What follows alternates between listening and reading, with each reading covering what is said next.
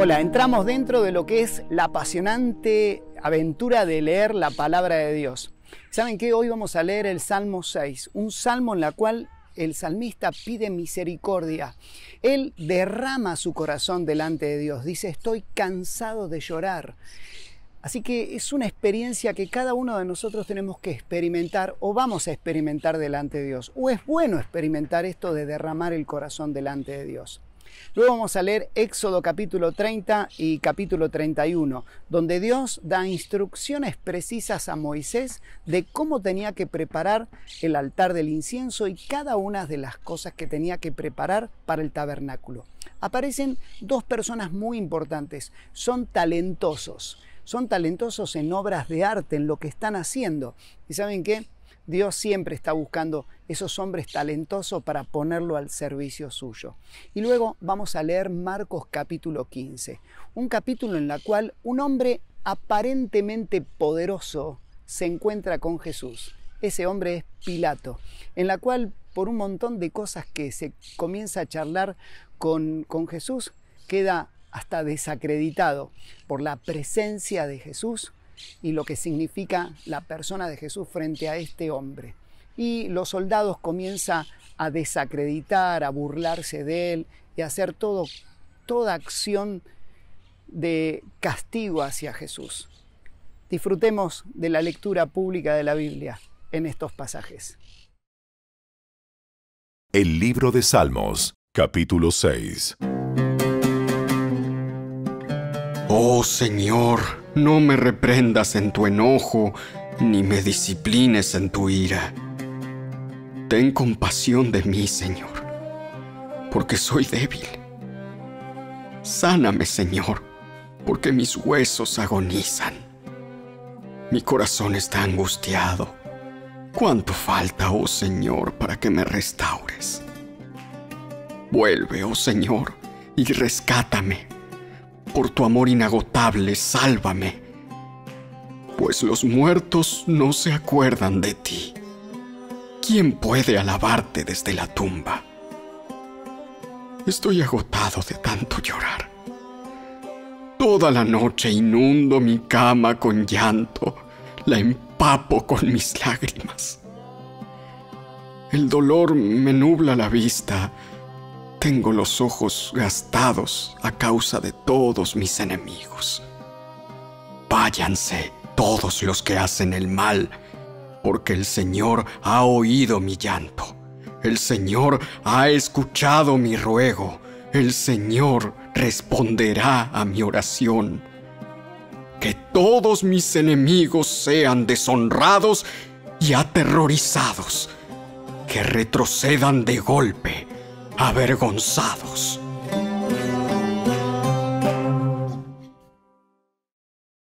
El libro del Éxodo, capítulo 30.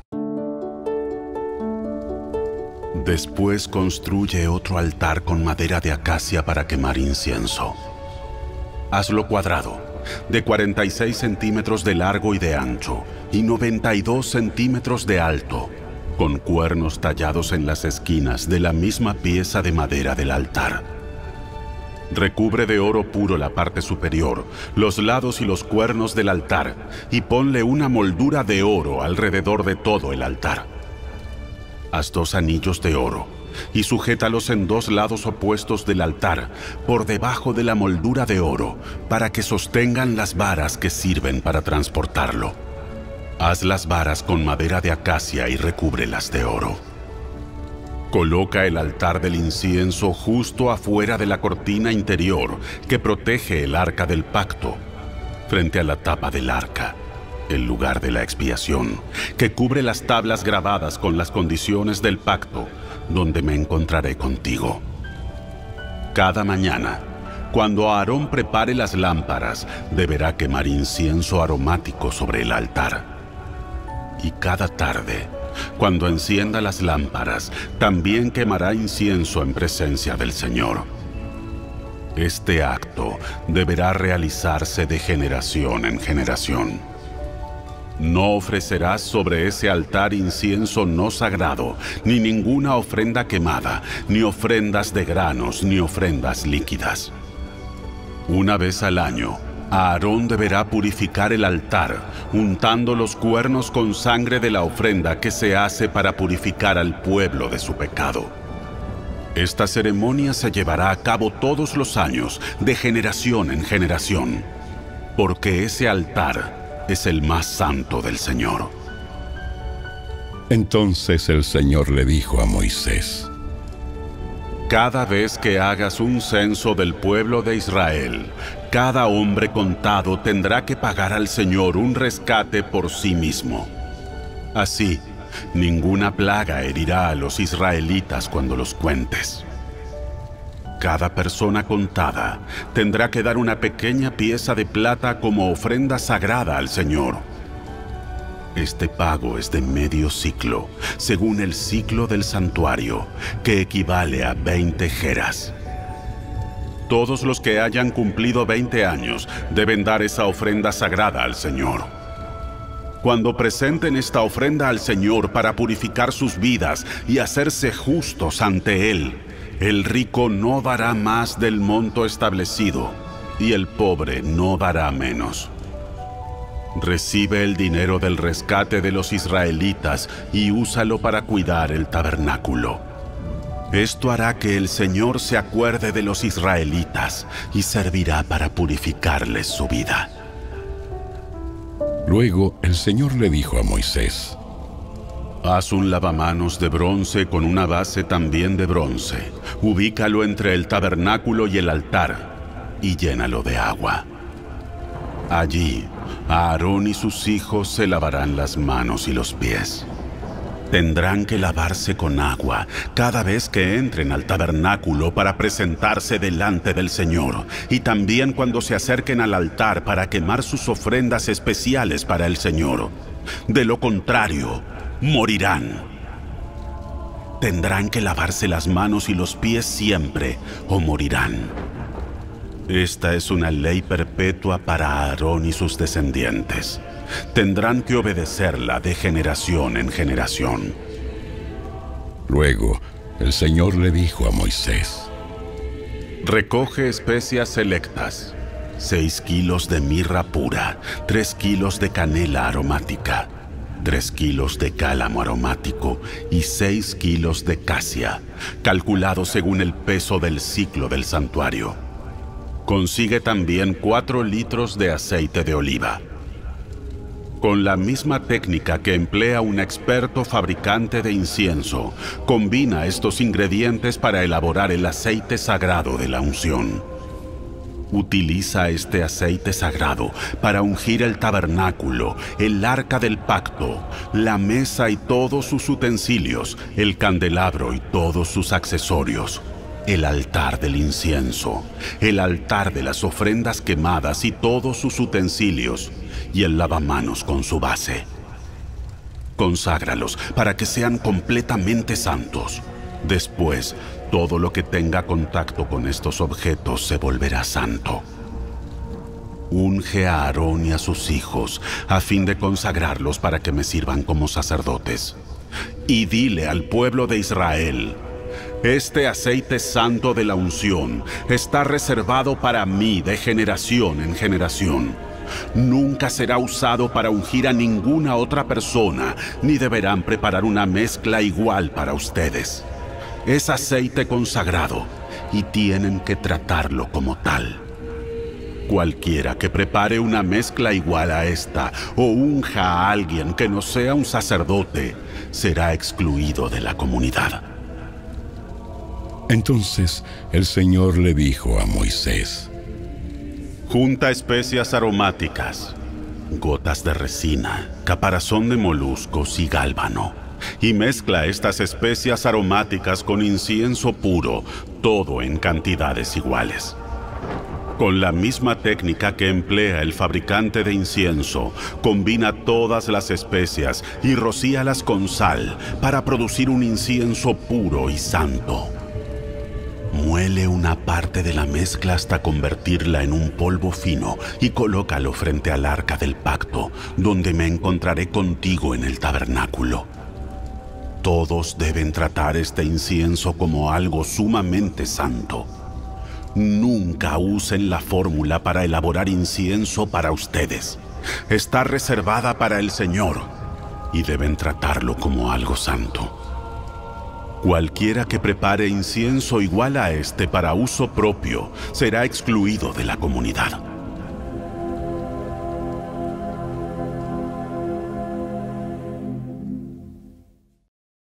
El libro del Éxodo, capítulo 31.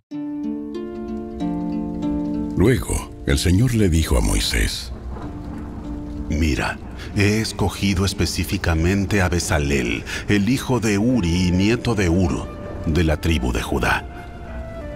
Lo he llenado del Espíritu de Dios y le he dado gran sabiduría, capacidad y destreza en toda clase de artes manuales y oficios.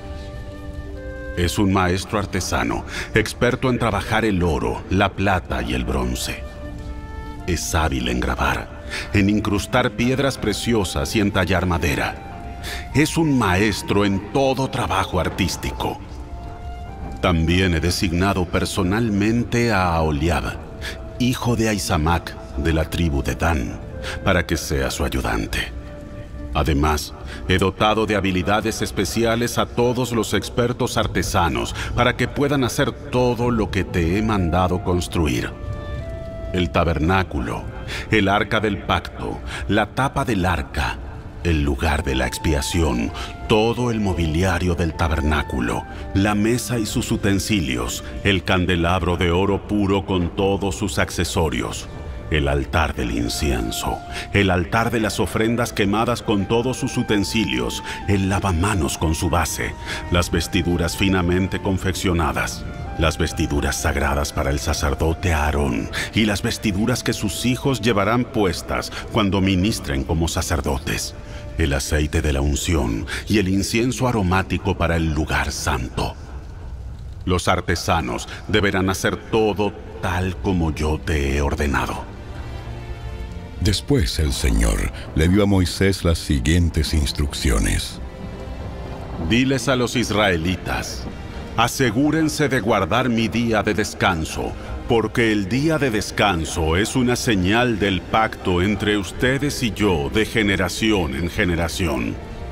Se ha establecido para que sepan que yo soy el Señor, quien los hace santos. Deberán guardar el día de descanso, porque es un día santo para ustedes. Cualquiera que lo profane será ejecutado, y el que trabaje ese día será excluido de la comunidad. Tienen seis días en la semana para hacer su trabajo habitual, pero el séptimo día será un día de descanso absoluto, un día santo, dedicado al Señor. Cualquiera que trabaje el día de descanso será ejecutado. El pueblo de Israel deberá guardar el día de descanso y conmemorarlo de generación en generación. Es una obligación del pacto para siempre. Es una señal perpetua de mi pacto con el pueblo de Israel. Pues en seis días el Señor hizo los cielos y la tierra, pero en el séptimo dejó de trabajar y descansó. Cuando el Señor terminó de hablar con Moisés en el monte Sinaí, le dio las dos tablas de piedra grabadas con las condiciones del pacto, escritas por el dedo de Dios.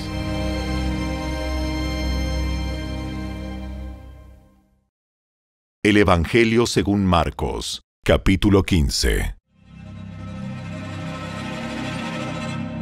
Muy temprano por la mañana, los principales sacerdotes, los ancianos y los maestros de la ley religiosa, todo el concilio supremo, se reunieron para hablar del próximo paso. Ataron a Jesús, se lo llevaron y lo entregaron a Pilato, el gobernador romano. Pilato le preguntó a Jesús, ¿Eres tú el rey de los judíos? Tú lo has dicho. Entonces los principales sacerdotes siguieron acusándolo de muchos delitos. Y Pilato le preguntó, ¿No vas a contestarles? ¿Qué me dices de las acusaciones que presentan en tu contra? Entonces, para sorpresa de Pilato, Jesús no dijo nada. Ahora bien, Era costumbre del gobernador poner en libertad a un preso cada año durante la celebración de la Pascua, el que la gente pidiera. Uno de los presos en ese tiempo era Barrabás, un revolucionario que había cometido un asesinato durante un levantamiento. La multitud acudió a Pilato y le pidió que soltara a un preso como era la costumbre. ¿Quieren que les deje en libertad a este rey de los judíos? Pues ya se había dado cuenta de que los principales sacerdotes habían arrestado a Jesús por envidia. Sin embargo, en ese momento, los principales sacerdotes incitaron a la multitud para que exigiera la libertad de Barrabás en lugar de la de Jesús. Entonces, ¿qué hago con este hombre al que ustedes llaman rey de los judíos? ¡Crucifícalo! ¡Crucifícalo! ¿Por qué? ¿Qué crimen ha cometido? Pero la turba rugió aún más fuerte. ¡Crucifícalo! Entonces Pilato, para calmar a la multitud, dejó a Barrabás en libertad y mandó a azotar a Jesús con un látigo que tenía puntas de plomo. Y después lo entregó a los soldados romanos para que lo crucificaran. Los soldados llevaron a Jesús al patio del cuartel general del gobernador, llamado el Pretorio, y convocaron a todo el regimiento. Lo vistieron con un manto púrpura y armaron una corona con ramas de espinos y se la pusieron en la cabeza. Entonces lo saludaban y se mofaban. ¡Viva el rey de los judíos! Y lo golpeaban en la cabeza con una caña de junco. Le escupían y se ponían de rodillas para adorarlo burlonamente. Cuando al fin se cansaron de hacerle burla, le quitaron el manto púrpura y volvieron a ponerle su propia ropa. Luego lo llevaron para crucificarlo. Un hombre llamado Simón, que pasaba por allí pero era de Sirene, venía del campo justo en ese momento, y los soldados lo obligaron a llevar la cruz de Jesús. Simón era el padre de Alejandro y de Rufo. Y llevaron a Jesús a un lugar llamado Gólgota, que significa lugar de la calavera.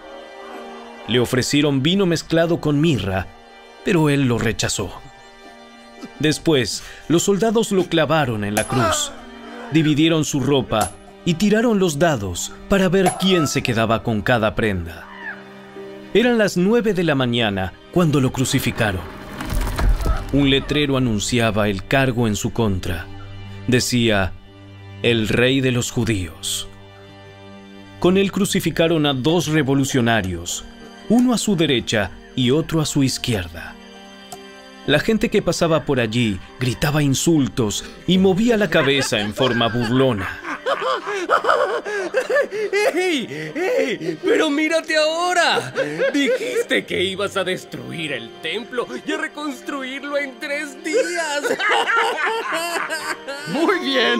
Sálvate a ti mismo y bájate de la cruz. Los principales sacerdotes y los maestros de la ley religiosa también se burlaban de Jesús. Salvó a otros, pero no puede salvarse a sí mismo. Que este Mesías, este rey de Israel, baje de la cruz para que podamos verlo y creerle. Hasta los hombres que estaban crucificados con Jesús se burlaban de él. Al mediodía, la tierra se llenó de oscuridad hasta las 3 de la tarde. Luego, a las 3 de la tarde, Jesús clamó con voz fuerte.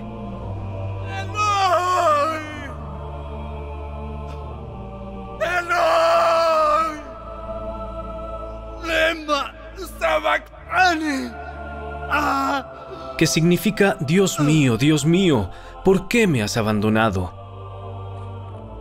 Algunos que pasaban por allí entendieron mal y pensaron que estaba llamando al profeta Elías. Uno de ellos corrió y empapó una esponja en vino agrio, la puso sobre una caña de junco y la levantó para que él pudiera beber. ¡Esperen! A ver si Elías viene a bajarlo. Entonces Jesús soltó otro fuerte grito y dio su último suspiro.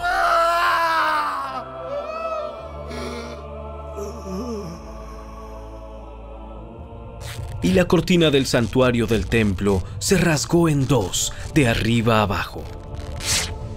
El oficial romano que estaba frente a él, al ver cómo había muerto, exclamó, Este hombre era verdaderamente el Hijo de Dios. Algunas mujeres miraban de lejos, entre ellas María Magdalena, María, la madre de Santiago el Menor y de José, y Salomé. Eran seguidoras de Jesús y lo habían cuidado mientras estaba en Galilea. También estaban allí muchas otras mujeres que habían venido con él a Jerusalén. Todo eso sucedió el viernes, el día de preparación, anterior al día de descanso. Al acercarse la noche, José de Arimatea se arriesgó y fue a ver a Pilato y pidió el cuerpo de Jesús.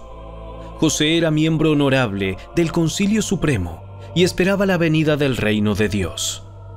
Pilato no podía creer que Jesús ya estuviera muerto, así que llamó al oficial romano y le preguntó si en verdad ya había muerto. El oficial lo confirmó, así que Pilato le dijo a José que podía llevarse el cuerpo.